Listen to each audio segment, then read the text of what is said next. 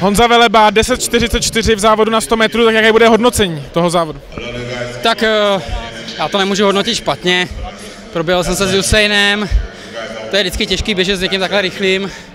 Po náročném víkendu, který jsme měli v Lille, uh, si myslím, že jsem spokojený. Předběhl jsem i Zdenka Stromčíka, který celou sezónu byl asi lepší než já, takže jsem spokojený. Bohužel asi úplně třeba větrné podmínky nebyly na to běžet tak rychle, nebo pro mě ostatní třeba běželi rychle, takže já jsem spokojený. Na jednu stranu je to složité, ale přesto to asi je zážitek běžet s Susienem. Rozhodně, já s ním běžím už po několikáté, když tady běžel jako olympijský vítěz čerstvý na stovku v roce 2009, tak jsem tady běžel a teďka jsem se na to hrozně těšil, byl jsem rád, že nakonec můžu taky běžet a to je zážitek.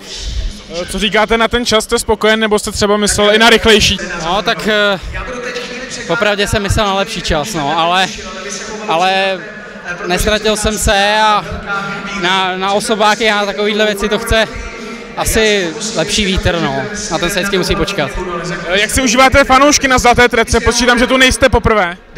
No vždycky neskutečně, protože na český poměry je to navídaný meeting, vždycky je tady spousta diváků a eh, tak to, to nejde si neužívat tohle. Jaké jsou vaše plány do konce sezóny? Plány? Moje plány jsou vydržet zdravý, trénovat a, a vyhlížet nějaký dobrý časy i do budoucích let.